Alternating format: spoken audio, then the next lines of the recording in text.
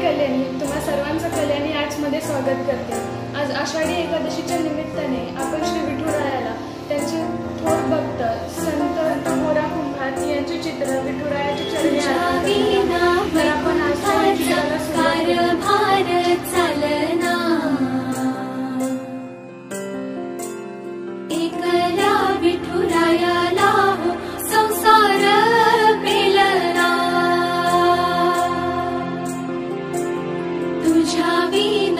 विना वैकुंठाचा कारभार चालना एकल्या विठुरायाला